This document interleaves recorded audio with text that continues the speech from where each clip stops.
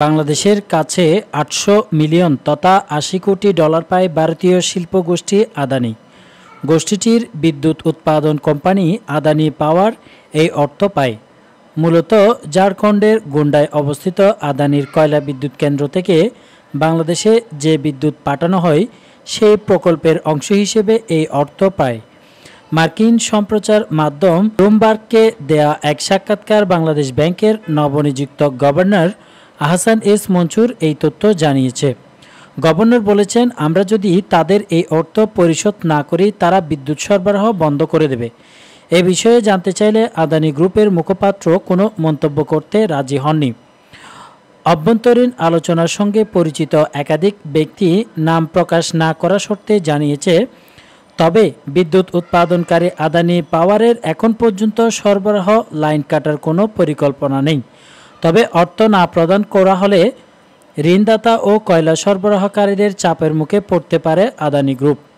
তারা জানিয়েছে, এই সমস্যার সমাধানে আদানি পাওয়ার বাংলাদেশ সরকারের সঙ্গে আলোচনা করছে। ভারতের প্রতিবেশী দেশগুলোতে ক্রমেই নিজেদের জায়গা বিস্তার করছে ভারতের প্রধানমন্ত্রী মোদির গোষ্ঠী বলে পরিচিত আদানি গ্রুপ। বাংলাদেশ ছাড়াও শ্রীলঙ্কা, নেপাল ও ভুটানে গোষ্ঠীটি নিজেদের ব্যবসা সম্প্রসারণ করতে চায়।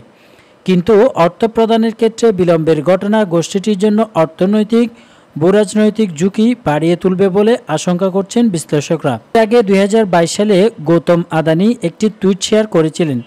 সেই টুইটে গোড্ডা পাওয়ার প্ল্যান্টের যাত্রা শুরুর কথা উল্লেখ করে বাংলাদেশের তৎকালীন প্রধানমন্ত্রী শেখ হাসিনার ভীষণ সম্পর্কেও আলোকপাত করা হয়। পরে দুই হাজার তেইশ সালের এপ্রিল মাসে গোড্ডা পাওয়ার প্ল্যান্ট উৎপাদন শুরু হয়। এদিকে আদানি পাওয়ার ছাড়াও এনটিপিসি লিমিটেড এবং পিটিসি ইন্ডিয়া লিমিটেড সহ ভারতের কয়েকটি রাষ্ট্রীয় মালিকানাধীন সংস্থা বাংলাদেশে বিদ্যুৎ সরবরাহ করে। সেই সংস্থাগুলোরও বাংলাদেশের কাছে কোনো এই বকেয়া আছে কিনা সে সম্পর্কে কোনো স্পষ্ট তথ্য পাওয়া যায়নি। চলতি মাসের পাঁচ তারিখে শেখ হাসিনা দেশ ছেড়ে যাওয়ার পর দায়িত্ব গ্রহণ করে অন্তর্বর্তীকালীন সরকার।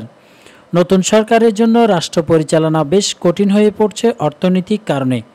আহসানিস মনসুর জানিয়েছেন, সামগ্রিক বকেয়া দুশো কোটি ডলার, যার মধ্যে রয়েছে এয়ারলাইন্সের বকেয়া যা অবিলম্বে পরিশোধ করতে হবে। এদিকে একত্রিশ জুলাই পর্যন্ত দেশের মোট রিজার্ভ ছিল বিশ দশমিক পাঁচ বিলিয়ন ডলার, যা দিয়ে প্রায় তিন মাসের আমদানি ব্যয় মেটানো সম্ভব। অন্তর্বর্তী সরকার এই অর্থনৈতিক অসুবিধাগুলো কাটিয়ে উঠতে আন্তর্জাতিক মুদ্রা তহবিলের প্রতিশ্রুত চারশো সত্তর কোটি ডলারের বাইরে আরও ঋণ নেওয়ার চেষ্টা করছে। এ বিষয়ে বাংলাদেশ ব্যাংকের গভর্নর বলেন, আমাদের বার্তাটি পরিষ্কার, আমাদের অর্থের প্রয়োজন। আমরা সব বকেয়া পরিশোধ করতে চাই।